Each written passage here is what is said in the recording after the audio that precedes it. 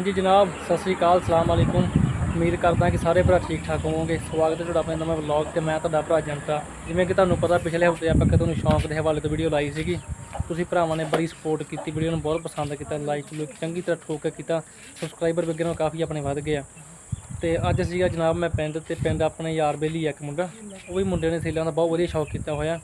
ਤੇ ਭਰਾ ਕੋ ਬੜੇ ਚੰਗੇ ਸੀਲ ਜਾਨਵਰ ਆ, ਤੇ ਮੈਂ ਕਿਹਾ ਚਲੋ ਤੁਹਾਨੂੰ ਉਹਨਾਂ ਦਾ ਵੀ ਸ਼ੌਂਕ ਕਰਾ ਦਈਏ। ਮੁੰਡੇ ਦੀ ਉਮਰ ਤਾਂ ਨਿੱਕੀ ਜੀ ਆ, ਤੇ ਪਰ ਸ਼ੌਂਕ ਬੜਾ ਵੱਡਾ। ਹਾਂਜੀ ਜਨਾਬ ਆਏ ਜੀ ਆਪਣੇ ਪਿੰਡ ਵਾਲਾ ਬੇਲੀ ਮੁੰਡਾ ਹਰਮਨ। ਇਹਦੇ ਭਰਾ ਦੇ ਰੱਖੇ ਹੋਏ ਸੀਲ ਜਾਨਵਰ। ਇਹਦਾ ਵੀ ਸੈਟਅਪ ਮੈਂ ਕਹਿੰਦਾ ਵਾੜੇ 'ਚ ਪੂਰਾ ਬਣਾਇਆ ਹੋਇਆ। ਤੁਹਾਨੂੰ ਸਾਰਾ ਚੈੱਕ ਕਰਾਉਣਾ। ਹਾਂਜੀ ਜਨਾਬ, ਇੱਕ ਵਾਰ ਤੁਸੀਂ ਭਰਾ ਦੇ ਖੁੱਡੇ ਚੈੱਕ ਕਰੋ। ਖੁੱਡਿਆਂ ਦਾ ਸਿਸਟਮ ਚੈੱਕ ਕਰੋ। ਵਧੀਆ ਲੰਮੇ ਲਾਈਨ 'ਚ ਲੜੀਵਾਰ ਖੁੱਡੇ ਪਾਏ ਹੋਏ ਆ। ਸਾਰੇ ਖੁੱਡਿਆਂ 'ਚ ਮੁੰਡੇ ਤੁਹਾਨੂੰ ਜਾਨਵਰ ਕੋਈ ਨਾ ਕੋਈ ਮਿਲੂਗਾ। ਜਾਨਵਰ ਇਹਨੇ ਵੀ ਇੰਨੇ ਕੁ ਰੱਖੇ ਹੋਏ ਤੇ ਜਾਨਵਰ ਹੈਗੇ ਵੀ ਸਾਰੇ ਨਸਲੀ ਆ। ਥਾੜ ਦੇ ਜਾਨਵਰ ਆ, ਪਾਣੀ ਵਾਲੇ। ਲਓ ਜੀ ਜਨਾਬ, ਪਹਿਲਾਂ ਤਾਂ ਸ਼ੌਂਕ ਕਰੋ ਭਰਾ ਦੇ ਇੱਕ ਪੱਠੇ ਦਾ। ਮੁੰਡੇ ਕਿੰਨੀ ਉਮਰ ਆ ਪੱਠੇ ਦੀ? 6 ਮਹੀਨੇ ਬਈ। 6 ਮਹੀਨੇ ਦਾ ਪੱਠੇ ਦਾ ਚਿਹਰਾ ਚੈੱਕ ਕਰੋ ਜੀ ਅੱਖ ਚੈੱਕ ਕਰੋ। ਠੀਕਰ ਪੱਠਾ ਆ ਤੇ ਸਾਡੇ ਇਧਰ ਇਹਨੂੰ ਵੈਸੇ ਤਿਗੜੀਆ ਕਹਿੰਦੇ ਆ ਹੋਰ ਭਾਸ਼ਾ 'ਚ ਕਹਿੰਦੇ ਇਹਨੂੰ ਠੀਕਰ ਕਹਿੰਦੇ ਕਈ ਨੂੰ ਪੱਟ ਦਾਜ ਵੀ ਕਹਿ ਦਿੰਦੇ ਆ। ਪਰ ਅਸੀਂ ਇਹਨੂੰ ਠੀਕਰ ਕਹਿੰਦੇ ਆ ਜੀ। ਛੱਡੀ ਥੱਲੇ। ਕੱਦ ਬੜਾ ਉੱਚਾ। ਕੱਦ ਤਾਂ ਬਹੁਤ ਉੱਚਾ ਯਾਰ। ਆਮ ਪੱਠੇ ਨਾਲ ਤਾਂ ਬਹੁਤ ਕੱਦ ਉੱਚਾ ਇਹਦਾ। ਭਰ ਜੂਗਾ weight ਤੇ ਬਹੁਤ ਵਧੀਆ ਬਣ ਜੂਗਾ ਇਹ। ਕਾਹੇ ਤੇ ਦਾਣਾ ਪਾਏਗਾ ਇਹ ਘਰੇ ਨਿਕਲ ਕੇ ਪਾਸੇ ਲਿਆਂਦਾ ਕਿਦੋਂ? ਕਰਦਾ ਆ? ਕਿਹੜੇ ਕੁੱਕੜ ਦਾ? ਮੰਨੂ ਵਾਲੇ ਦਾ। ਅੱਛਾ, ਉਹ ਨੰਨੂ ਵਾਲੇ ਦਾ? ਠੀਕ ਆ। ਬਹੁਤ ਸੋਹਣਾ ਤੇ ਬਹੁਤ ਸੁਨੱਖਾ ਜਾਨਵਰ ਹੈ ਬਹੁਤ ਸੁਨੱਖਾ ਪੱਠਾ ਆ ਤੇ ਵਧੀਆ ਮੋਟੇ ਨੂੰ ਖਰਾਕ ਰੂਕ ਪਾ, ਤਿਆਰ ਹੋ ਕੇ ਵਧੀਆ ਬਣ ਜਾਊਗਾ। ਬਾਕੀ ਕੱਦ ਬਹੁਤ ਆ ਜੀ। ਪੀਲੀਆਂ ਲੱਤਾਂ ਦਾ ਮੁਰਗਾ ਤੇ ਲਾਖਾ ਰੰਗ ਆ। ਗੂੜਾ ਲਾਖਾ ਆ ਮੁਸ਼ਕੇ ਕਾਲੇ ਜੀ ਆ ਜਾਂਦਾ ਇੱਕ ਹਿਸਾਬ ਦਾ।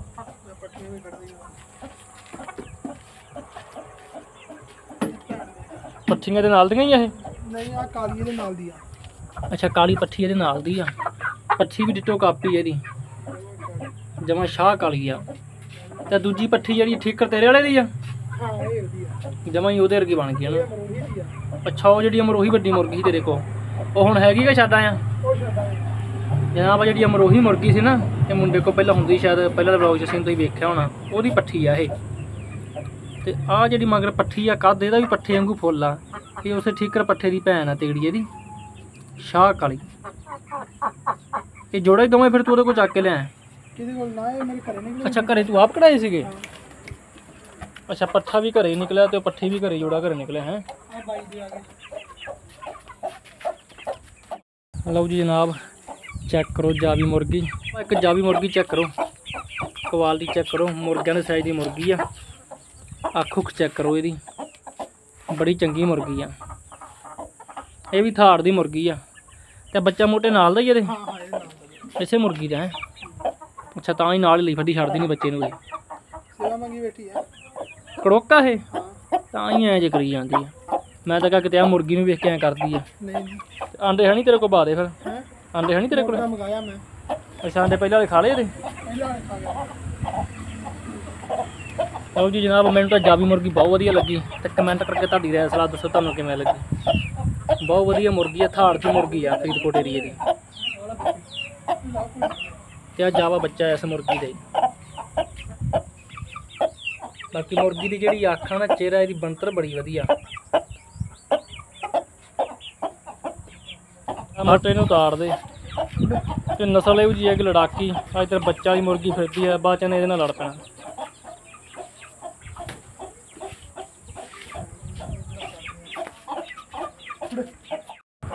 ਉਹ ਜੀ ਆ ਪੱਠੇ ਨੂੰ ਤਾਰ ਦਈਏ ਇੱਕ ਵਾਰ ਤੇ ਦੂਜਾ ਮੁਰਗਾ ਤੁਹਾਨੂੰ ਛੱਡ ਕੇ ਉਹਦਾ ਵੀ ਸ਼ੌਕ ਕਰਾਉਣੇ ਆ।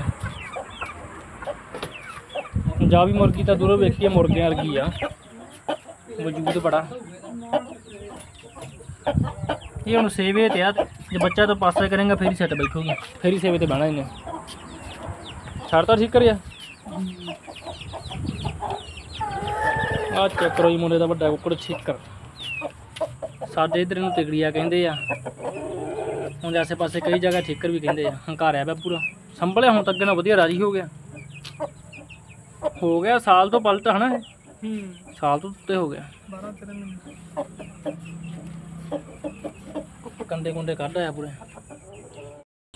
ਲਓ ਜੀ ਜਨਾਬ ਆ ਚੈੱਕ ਕਰੋ। ਭਰਾ ਦਾ ਠੀਕਰ ਪੱਠਾ। ਕੁੱਕੜ ਹੀ ਆ ਪੂਰਾ ਹੁਣ ਤਾਂ ਸਾਲ ਪਲਟ। ਇਹਦੀ ਅੱਖ ਚੈੱਕ ਕਰੋ। ਤਿਗੜੀ ਆ ਕੁੱਕੜ ਹੈ ਤਿਗੜੀ ਆ ਲੱਤ ਚੈੱਕ ਕਰੋ ਜੀ। ਚੌਰਸ ਲੱਤ ਦਾ ਕੁੱਕੜ ਆ।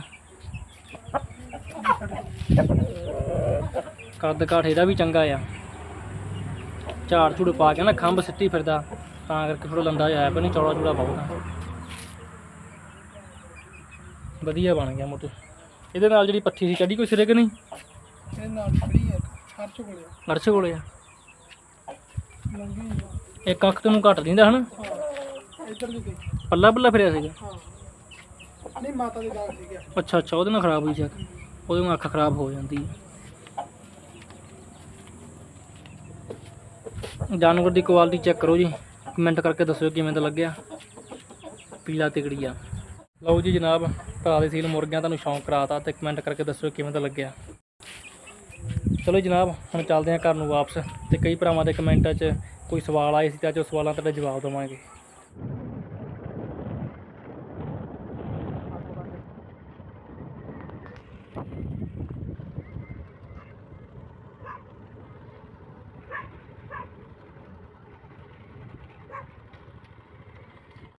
ਹਾਂਜੀ ਜਨਾਬ ਜਾਂਦਾ ਹੀ ਰਸਤੇ 'ਚ ਤੇ ਇੱਕ ਆਪਣੇ ਭਰਾ ਕੋ ਹੋਰ ਮੁਰਗੇ ਰੱਖੇ ਹੋਏ ਆ ਤੇ ਮੈਂ ਕਿਹਾ ਤੁਹਾਨੂੰ ਵੀ ਕੁੱਕੜ ਚੈੱਕ ਕਰਾ ਦਈਏ।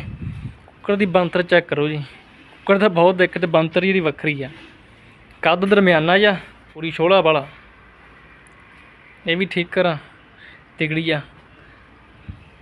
ਚਿਹਰਾ ਬੜਾ ਵੱਖਰਾ ਆਮ ਕੁੱਕੜਾਂ ਨੂੰ।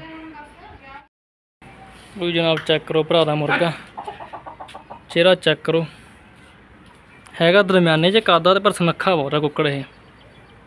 ਲੱਤਾਂ ਦਿਖਾ ਬਈ ਫੜ ਕੇ ਰਹੀਆਂ ਲੱਤ ਦਾ ਸ਼ੌਂਕ ਕਰੋ ਜੀ।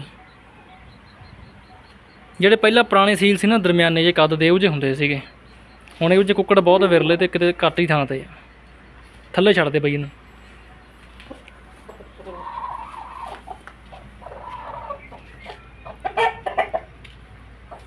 ਪੁੱਠੇ ਜਾਲ ਦਾ ਕੁੱਕੜ ਆ।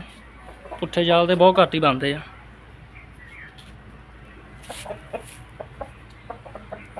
ਫੁੰਜਾ ਦਾ ਬਲੇਤੀਆਂ ਨੂੰ ਥੋੜਾ ਇਦਾਂ ਨੂੰ ਆ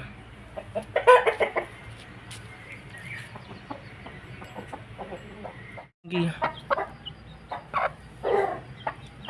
ਆਲੀ ਦਾ ਕੜੋਕ ਹੋਈ ਪਈ ਆ। ਇਹਦਾ ਕੜੋਕ ਹੋਈ ਪਈ ਆ। ਹਾਂ ਸੇਵਾ ਤਾਂ ਮੰਗਦੇ ਹੋ ਮੋਟੇ ਕੋਲ ਵੀ ਕੜੋਕ ਹੋਈ ਪਈ ਆ ਇੱਕ। ਅੰਦਰ ਬੈਠੀ ਤੂੜੀ ਆਹ ਦਿਨਾਂ 'ਚ ਬੱਚੇ ਕਢਾਉਣੇ ਬਹੁਤ ਔਖੇ ਯਾਰ। ਆਹ ਮੁਰਗੀ ਦੀ ਵੀ ਕੁਆਲਿਟੀ ਚੈੱਕ ਕਰੋ ਜੀ ਬਹੁਤ ਚੰਗੀ ਮੁਰਗੀ ਆ। ਆਹ ਬੱਚਾ ਦੇਸੀ ਕਢਾ ਸੀ ਇਹਦੇ ਨਾਲ? ਦੇਸੀ ਜਿਹੜਾ ਚਲ ਵਧੀਆ ਸੇਵੇ ਦਾ ਬੰਦਾ ਫਾਇਦਾ ਚੱਕੇ ਜੋ ਸੇਵੇ ਤੇ ਬਹਿ ਹੀ ਗਈ ਜੋ ਸੇਵੇ ਤੇ ਬਹਿ ਹੀ ਗਈ ਬੰਦਾ ਫਾਇਦਾ ਚੱਕੇ। ਪੱਠੀ ਕਰਨਾ ਹੈ? ਇਹ ਤਿੰਨ ਕੱਢੇ ਯਾਰ ਵਿਚਾਰੇ ਇੱਕਦਮ ਉਮਰ ਦੇ ਬਿੱਲੀ ਲੋ ਜੀ। ਅੱਛਾ। ਆ ਜਿਹੜਾ ਹਰਮਨ ਕਾਲੇ ਦੇ ਪੱਠੇ ਵੱਡੇ ਲਈ ਫਿਰ ਬੱਚੇ ਲੜਾਏ ਕਿਉਂ ਪਿਆਰੇ ਦੋਵੇਂ ਪਿਆਰੇ। ਐਸਾ ਆਹ ਪੱਠੀ। ਪੱਠੀ ਨੇ ਯਾਰ। ਹਾਂਜੀ ਜਨਾਬ ਤੇ ਆ ਭਰਾ ਕੋ ਵੀ ਆ ਕੇ ਤੁਹਾਨੂੰ ਮੁਰਗੇ ਦਾ ਸ਼ੌਂਕ ਕਰਾਤਾ ਤੇ ਹੁਣ ਚੱਲੀਏ ਘਰ ਨੂੰ ਵਾਪਸ। ਅੱਜ ਦਾ ਮੌਸਮ ਜਿਹਾ ਫੇਰ ਵਧੀਆ ਬਣ ਗਿਆ ਤੇ ਕਈ ਵਾਰ ਤਾਂ ਵਾਵਾ ਹੀ ਹੁੰਦਾ ਆ। ਗਰਮੀ ਯਾਰ ਹਨਾ ਦੁਪਹਿਰੇ ਅੱਜ ਸੀਗੀ। ਵਾਰੇ ਗਰਮੀ ਵਾਣ ਬੁਣ ਵਾਈ ਜਾਂਦੇ ਝੋਨਾ ਪੂਰਾ ਜੋਰਾਂ ਤੇ ਆਉਣ ਤਾਂ। ਹੋ ਗਿਆ ਲੱਗਣਾ ਸ਼ੁਰੂ ਪੈਂਦਾ ਆਪਣੇ ਕਿ ਨਹੀਂ? ਨਹੀਂ ਨਹੀਂ ਹਜੇ ਤਾਂ 11 ਦਾ। ਉਧਰ ਲਾਇਆ ਉਹ। 11 ਨੂੰ ਸ਼ੁਰੂ ਆ? ਆਸੇ ਪਾਸੇ ਯਾਰ ਮੁਕਤਸਰ ਤੋਂ ਉਧਰ ਮੈਂ ਗਿਆ। ਉਹ ਪਹਿਲਾਂ ਗਏ ਨਾ ਬਈ। ਪਹਿਲਾਂ ਲੱਗ ਜਾਂਦਾ ਉਹ ਸੇਮ ਲੱਗਾ ਉਹ ਪਹਿਲਾਂ ਨਾ ਵਿਊ ਚੈੱਕ ਕਰੋ ਜਨਾਬ। ਆਪਣਾ ਵਾਣ ਘਰ ਦੇ ਨਾਲ ਹੀ ਆ ਕਿ ਪਾਸੇ ਵੀ ਕੀ ਠੀਕ ਆ। ਵਿਊ ਚੈੱਕ ਕਰੋ ਜਨਾਬ।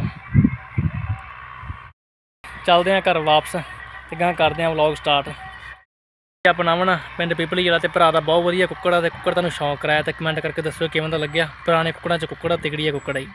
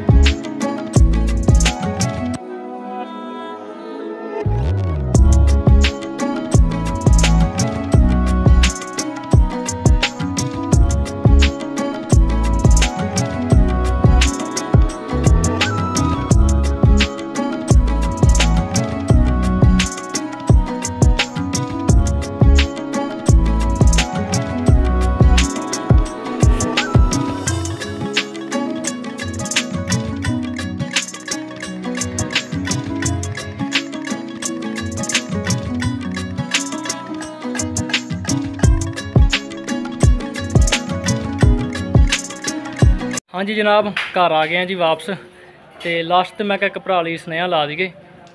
ਕਾਫੀ ਦਿਨ ਹੋ ਗਏ ਭਰਾ ਦਾ ਕਮੈਂਟ ਆਇਆ ਹੋਇਆ ਸੀਗਾ ਕਿ ਵੀਰੇ ਜਿਹੜਾ ਗਰਮੀਆਂ ਦੇ ਦਿਨ ਆ, ਇਹਨਾਂ ਦਿਨਾਂ 'ਚ ਮੁਰਗੇ ਨੂੰ ਤਿਆਰੀ ਲਈ ਖੁਰਾਕ ਕੀ ਪਾਈਏ? ਉਹ ਭਰਾ ਲਈ ਮੈਂ ਸਪੈਸ਼ਲ ਦੱਸ ਰਿਹਾ ਕਿ ਵੀਰੇ ਜਿਹੜਾ ਆਪਣਾ ਗਰਮੀ ਦਾ ਮੌਸਮ ਆ ਜਾਂ ਸਰਦੀ ਦਾ ਮੌਸਮ ਆ, ਜਾਨਵਰ ਨੂੰ ਆਪਾਂ ਖੁਰਾਕ ਮੌਸਮ ਦੇ ਹਿਸਾਬ ਨਾਲ ਪਾਈਦੀ ਆ। ਜੇ ਸਰਦੀਆਂ ਦਾ ਮੌਸਮ ਆ, ਆਪਾਂ ਉਹਨੂੰ ਗਰਮ ਖੁਰਾਕ ਦੇਵਾਂਗੇ। ਜੇ ਗਰਮੀ ਦਾ ਮੌਸਮ ਆ, ਠੰਡੀ ਖੁਰਾਕ ਦੇਵਾਂਗੇ। ਮੌਸਮ ਦੇ ਹਿਸਾਬ ਨਾਲ ਖੁਰਾਕ ਆਪਾਂ ਦੇਣੀ ਨਹੀਂ, ਠੰਡ 'ਚ ਗਰਮ ਚੀਜ਼ ਦੇਵਾਂਗੇ, ਗਰਮੀ 'ਚ ਠੰਡੀ ਚੀਜ਼ ਦੇਵਾਂਗੇ। ਉਹ ਸਭ ਨਾਲ ਖੁਰਾਕ ਦੇਈਦੀ ਤੇ ਜਿਵੇਂ ਹੁਣ ਹੈਗਾ ਵੀਰੇ ਗਰਮੀਆਂ ਦਾ ਮੌਸਮ ਆ, ਤੁਸੀਂ ਕੀ ਕਰਨਾ, ਜਾਨਵਰ ਨੂੰ ਵੱਧ ਤੋਂ ਵੱਧ ਤਾਂ ਮੱਖਣੀ ਦਿਓ, ਦਹੀਂ ਵਿੱਚ ਕੁੱਕੜ ਖਾ ਲੈਂਦੇ ਆ। ਤੇ ਵੱਧ ਤੋਂ ਵੱਧ ਤਾਂ ਕੁੱਕੜ ਨੂੰ ਇਹਨਾਂ 'ਚ ਮੱਖਣੀ ਦਿਓ, ਜਿੰਨਾ ਹੀ ਹੋ ਸਕੇ। ਤੇ ਬਾਕੀ ਖੁਰਾਕ 'ਚ ਜਿਹੜਾ ਤੁਹਾਨੂੰ ਮੇਨ ਦੱਸ ਦੇਣਾ ਮੇਨ ਚੀਜ਼ਾਂ ਕਿਹੜੀਆਂ ਵੀਰੇ? ਤੇ ਗਰਮੀਆਂ ਵਾਲੀ ਖੁਰਾਕ ਲਈ ਵੀਰੇ ਜੋ ਚੀਜ਼ਾਂ ਚਾਹੀਦੀਆਂ, ਉਹ ਤੁਹਾਨੂੰ ਮੈਂ ਦੱਸ ਦਿੰਨਾ। ਤੇ ਧਿਆਨ ਨਾਲ ਉਹਦਾ ਬੇਸ਼ੱਕ ਕਿਸੇ ਕਾਪੀ ਤੇ ਨੋਟ ਕਰ ਲਿਓ ਚੀਜ਼ਾਂ। ਉਹ ਚੀਜ਼ਾਂ ਹੈਗੀਆਂ ਵੀਰੇ ਬਦਾਮ, ਮਣਕੇ, ਮੱਖਣੀ ਤੇ ਔਲੇ ਦਾ ਮੁਰੱਬਾ ਤੇ ਚਾਂਦੀ ਦੇ ਵਰਕ। ਤੇ ਇਹ ਤੁਸੀਂ ਖੁਰਾਕ ਜਿਹੜੀ ਦੇਣੀ ਕਿਵੇਂ ਆ ਤੇ ਕਿਹੜੀ ਮਿਆਦ ਚ ਕਿੰਨੀ ਕਿੰਨੀ ਦੇਣੀ, ਉਹ ਵੀ ਤੁਹਾਨੂੰ ਮੈਂ ਦੱਸ ਦਿੰਦਾ। ਜਦੋਂ ਕੋਈ ਜਾਨਵਰ ਹੈਗਾ ਸਾਲ ਪਲਟ, ਉਹਦਾ ਬਦਾਮ 25 ਤੋਂ 30 ਵੀ ਹਜਮ ਕਰ ਜੂ, ਕੋਈ ਵੱਡੀ ਗੱਲ ਨਹੀਂ। ਜੇ ਕੋਈ ਹੈਗਾ ਪੱਠਾ ਕੋਈ 6-7 ਮਹੀਨਿਆਂ ਤੋਂ ਜਿਹਨੂੰ ਆਪਾਂ ਤਿਆਰ ਕਰਦੇ ਆ, ਉਹਨੂੰ ਵੀਰੇ ਤੁਸੀਂ 8 ਤੋਂ 10 ਬਦਾਮ ਦਿਓ, ਹੱਦ 15 ਦਿਓ। ਸਟਾਰਟਿੰਗ 'ਚ ਜਾਨਵਰ ਕਿਸ ਨੂੰ ਵੀ ਤੁਸੀਂ ਸਟਾਰਟਿੰਗ ਦੇ ਖੁਰਾਕ ਦਿੰਦੇ ਆ ਨਾ, ਇੱਕੋ ਦਮ ਕਿਸੇ ਜਾਨਵਰ ਨੂੰ ਵੀ 25 ਬਦਾਮ ਵੀਰੇ ਨਹੀਂ ਪਾਉਣੇ, ਚਾਹੇ ਵੱਡਾ ਹੀ ਆ, ਕਿਉਂਕਿ ਮੰਨ ਕੇ ਚਲੋ ਪਾਸਿਓਂ ਕੁੱਕੜ ਆਇਆ, ਉਹਨੇ ਪਾਸਿਓਂ ਖੁਰਾਕ ਨਾ ਖਾਧੀ ਹੋਵੇ, ਤੁਹਾਡੇ ਕੋਲ ਸਿੱਧਾ ਆ ਕੇ ਖੁਰਾਕ ਖਾਊਗਾ ਉਹ, ਜਿਹਨੂੰ ਤੁਸੀਂ 25 ਬਦਾਮ ਪਾ ਦੇ ਉਹਦੇ ਹਜਮ ਨਹੀਂ ਹੋਣੇ, ਕਿਉਂਕਿ ਉਹਨੇ ਪਿੱਛੋਂ ਖੁਰਾਕ ਪਹਿਲਾਂ ਕਦੇ ਖਾਧੀ ਨਹੀਂ, ਉਹਦੇ ਮੇਦੇ ਨੇ ਨਹੀਂ ਝਾਲ ਚੱਲਣੀ ਨਹੀਂ, ਉਹ ਜਾਨਵਰ ਦਾ ਵੀਰੇ ਕੀ ਆ, ਮੇਦਾ ਮਾੜਾ ਹੋ ਜਾਊਗਾ, ਉਹਨੂੰ ਖਾਦਾ ਪੀਦਾ ਕੁਛ ਨਹੀਂ ਲੱਗਣਾ, ਉਹ ਰੋਟੀ ਵੀ ਜਿਹੜੀ ਖਾਧੀ ਉਹ ਵੀ ਨਹੀਂ ਲੱਗਣੀ, ਹਾਜ਼ਮਾ ਉਹਦਾ ਮਾੜਾ ਹੋ ਜਾਊਗਾ। ਤੁਸੀਂ ਕੀ ਕਰਨਾ ਵੀਰੇ, ਜੇ ਕੋਈ ਸਾਲ ਪਲਟ ਪੱਠਾ ਹੈਗਾ, ਜੇ ਪਹਿਲਾਂ ਤਾਂ ਸਾਂਭੀ ਜਾਂਦੇ ਘਰੇ ਆ, ਉਹ ਸਾਨੂੰ ਰੂਟੀਨ ਬਣੀ ਆ, ਬਦਾਮ ਉਸ ਹਿਸਾਬ ਨਾਲ, ਤੇ ਜੇ ਜਾਨਵਰ ਦੀ ਨਵੇਂ ਸਿਰੋਂ ਖੁਰਾਕ ਸ਼ੁਰੂ ਕਰਨੀ ਆ ਕੋਈ 7-8 ਬਦਾਮਾਂ ਤੋਂ ਸ਼ੁਰੂ ਕਰੋ 10 ਤੇ ਲਿਆਓ 10 ਤੋਂ ਫਿਰ 15 ਤੇ 15 ਤੋਂ 20 ਤੇ 20 ਤੋਂ 25 ਤੇ ਲੈ ਆਓ। ਤੇ ਬਦਾਮ ਦੇਣੇ ਆ ਵੀਰੇ ਕੁੱਕੜ ਨੂੰ ਭਿਉਂ ਕੇ, ਤੇ ਉਹਦੇ ਨਾਲ 2 ਤੋਂ 3 ਮਣਕੇ ਭਿਉਂ ਦੇਣੇ ਆ। ਤੇ ਉਹਦੇ ਨਾਲ ਹੀ 2 ਤੋਂ 3 ਕਾਲੀਆਂ ਮਿਰਚਾਂ ਭਿਉਂ ਦੇਣੀਆਂ। ਮਣਕੇ ਤੇ ਬਦਾਮ ਭਿਉਂ ਕੇ ਕੁੱਕੜ ਨੂੰ ਦੇਣੇ ਆ ਤੇ ਜਿਹੜੀਆਂ ਕਾਲੀਆਂ ਮਿਰਚਾਂ ਉਹ ਹਾਜ਼ਮੇ ਵਾਸਤੇ ਆ। ਬਈ ਉਹ ਖਾ ਕੇ ਕੁੱਕੜ ਵਧੀਆ ਹਜਮ ਕਰ ਜੂਗਾ।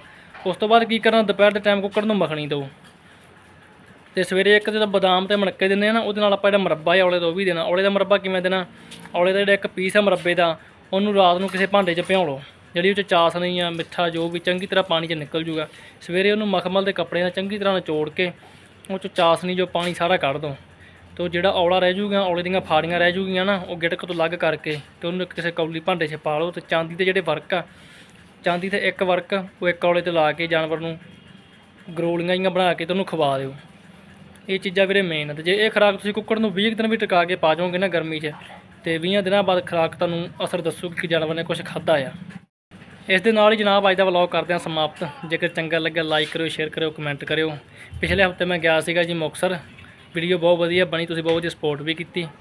ਤੇ ਇਸ ਹਫ਼ਤੇ ਕਿਤੇ ਜਾਇਆ ਨਹੀਂ ਗਿਆ ਥੋੜੇ ਘਰੇ ਵੀ ਕੰਮ 'ਚ ਸੀਗਾ ਤੇ ਇੱਕ ਵੀਰੇ ਗਰਮੀ ਬਹੁਤ ਆ, ਤਾਂ ਕਰਕੇ ਕਿਤੇ ਆਉਣਾ ਜਾਣਾ ਹੁਣ ਔਖਾ ਹੋਇਆ ਪਿਆ। ਪਿੰਡ ਜੀ ਆਪਣੇ ਭਰਾ ਸੱਜਣ ਬੇਲੀ ਸੀਗੇ, ਉਹਨਾਂ ਨੂੰ ਵੀ ਸ਼ੌਂਕ ਹੈਗਾ ਤੇ ਮੈਂ ਕਿਹਾ ਚਲੋ ਤੁਹਾਨੂੰ ਉਹਨਾਂ ਦੇ ਕੁੱਕੜ ਦਾ ਸ਼ੌਂਕ ਕਰਾ ਦਈਏ ਪਿੰਡ 'ਚ। ਤੇ ਕੁੱਕੜ ਉਹਨਾਂ ਕੋਲ ਵੀ ਸਾਰਾ ਕੁਝ ਚੰਗੇ ਆ, ਤਾਂ ਕਰਕੇ ਮੈਂ ਕਿਹਾ ਚਲੋ ਤੁਹਾਨੂੰ ਇੱਕ ਵਾਰ ਚੈੱਕ ਕਰਾ ਦਈਏ। ਮਿਲਦੇ ਹਾਂ ਅਗਲੇ ਵਲੌਗ 'ਚ। ਤੇ ਜਿਹੜੇ ਭਰਾ ਅੱਜ ਪਹਿਲੀ ਵਾਰ ਆਪਣਾ ਵਲੌਗ ਦੇਖ ਰਹੇ ਆ, ਆਪਣੇ ਚੈਨਲ ਤੇ ਆਏ ਆ, ਚੈਨਲ ਨੂੰ ਸਬਸਕ੍ਰਾਈਬ ਕਰਨਾ ਨਾ ਭੁੱਲਿਓ ਤੇ ਸ਼ੇਅਰ ਕਰੋ ਲਾਈਕ ਕਰੋ ਕਮੈਂਟ ਕਰੋ। ਤੇ ਬਾਕੀ ਕਿਸੇ ਭਰਾ ਨੇ ਇਹ ਨਹੀਂ ਕੋਸ਼ਿਸ਼ ਕਰਨੀ ਕਿ ਆਪਾਂ ਜੇ 25 ਬਦਾਮ ਕਹੇ ਤੁਸੀਂ 30 ਪਾ ਦਿਓ, ਹਨਾ? ਜਾਂ ਸਟਾਰਟਿੰਗ ਤੋਂ ਜਿਹਨੂੰ ਆਪਾਂ 8-10 ਤੋਂ ਸ਼ੁਰੂ ਕਰਨਾ, ਉਹਨੂੰ ਸਟਾਰਟਿੰਗ ਤੇ 15-20 ਪਾ ਦਿਓ, ਉਹਦਾ ਵੀਰੇ ਫਾਇਦਾ ਨਹੀਂ, ਜਾਨਵਰ ਖਰਾਬ ਹੋ ਜਾਊਗਾ। ਕਿਉਂਕਿ ਜਾਨਵਰ ਦੇ ਮੇਦੇ ਨੇ ਨਹੀਂ ਚੱਲਣਾ, ਕੋਈ ਵੀ ਖਰਾਬ ਆ, ਕੁੱਕੜ ਨੂੰ ਪਾਵਾਂਗੇ ਨਾ, ਚੀਜ਼ ਹੌਲੀ ਹੌਲੀ ਪਾ ਕੇ ਫਿਰ ਗਾਂ ਨੂੰ ਵਧਾਓ। ਬਾਕੀ ਮੱਖਣੀ ਦੁਪਹਿਰ ਦੇ ਟਾਈਮ ਦੇ ਦਿਆ ਕਰੋ, ਮੱਖਣੀ ਚੰਗੀ ਚੀਜ਼ ਆ। ਮੱਖਣੀ ਤਾਂ ਜਿੰਨੀ ਦਿੱਤੀ ਜਾਵੇ, ਉਹਦਾ ਕੋਈ ਨੁਕਸਾਨ ਨਹੀਂਗਾ ਤੇ ਬਾਕੀ ਚੀਜ਼ ਜੋ ਵੀ ਹਰੇਕ ਆ ਮਿਆਦ ਅਨੁਸਾਰ ਹੀ ਦਿਓ ਜੇ ਆਪਾਂ ਲੋੜ ਤੋਂ ਵੱਧ ਦੇਵਾਂਗੇ, ਤੁਹਾਨੂੰ ਪਤਾ ਜੇ ਫਾਇਦਾ ਆ, ਤੇ ਚੀਜ਼ ਦਾ ਫਿਰ ਨੁਕਸਾਨ ਵੀ ਆ। ਤੇ ਉਸ ਹਿਸਾਬ ਨਾਲ ਹੀ ਦਿਓ